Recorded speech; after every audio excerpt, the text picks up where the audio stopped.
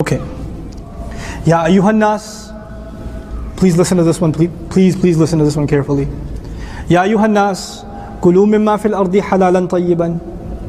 Eat whatever you find on the earth that is permissible and good and pure. Eat good halal food. What does that mean? Your chicken should be zabiha? I'm never going to get into that argument. Sorry. Can I eat McDonald's? I don't know. I don't know. Ask a faqih. But I will tell you this halal food is not just about slaughtered animal, halal food is also about where'd you get the money. Where'd you get the money to pay for that? You, you're buying zabiha chicken from your liquor store's money. Uh, it's still the same as pork. You're still eating pork. Okay? You can zabiha it all you want. It's from riba money, it's from haram money, it's from you know khamr money, it's from maisir money, it's gambling money, it's alcohol money, it's riba money. Uh, what are you thinking? That this is halal food? No. Allah says, eat what from the earth what is halal and good and pure. Halal part of it is the meat itself, the food itself. Tayyib is the way it was bought is good and pure. Both sides are covered. Halal and tayyiban. وَلَا تَتَّبِعُوا خُطُوَاتِ الشَّيْطَانِ While not following the footsteps of shaitan. إِنَّهُ لَكُمْ عَدُوٌ مُبِينٌ He to you is an open, declared, obvious enemy. He showed his animosity on day one. He said, I will get them to hell. I will humiliate them. And how will he show his animosity? Next ayah, إِنَّمَا يَأْمُرُكُمْ بِالسُّوءِ وَالْفَحْشَاءِ وَأَن تَقُولُوا عَلَى اللَّهِ مَا لَا تَعْلَمُونَ He will command you to evil. And He will command you to shamelessness. And He'll command you to say about Allah what you don't even know.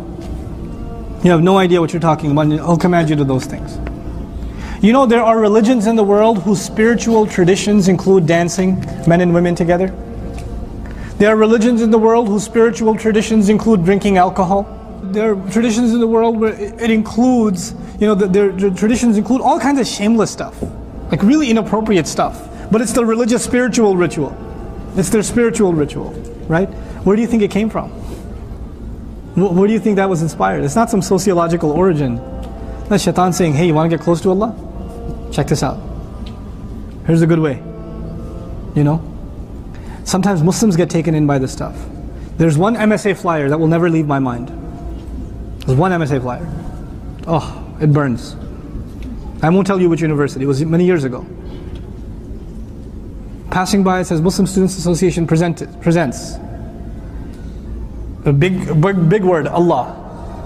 Allah. And I was like, wow. A program about Allah. But there's a line above that that you can't see from a distance. So you go above and it says dancing to get closer to Allah.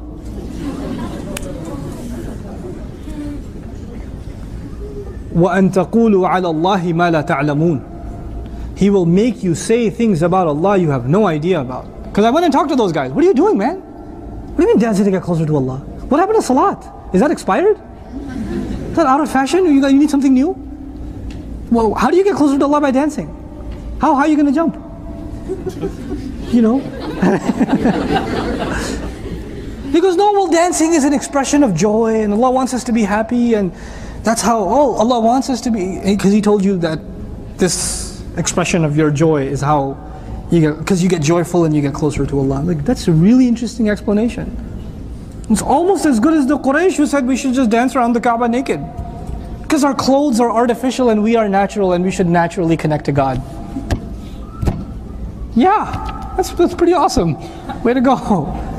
You know, you get closer to something. it won't be Allah though. Subhanallah. So that's أن تقولوا على الله ما لا تعلمون. You consume haram and it'll immediately make you more shame, shameless. You consume, you eat haram food, you eat from haram income, you'll start watching more filthy stuff. You start going out to movies more. You start going to parties more. You start holding a, ho- uh, parties at your house more. Stuff will start happening. Bad stuff will start happening when you start eating haram. And you'll, you'll start saying it's nothing wrong with it. Allah says it's fine. These were ayat about al-fahsha.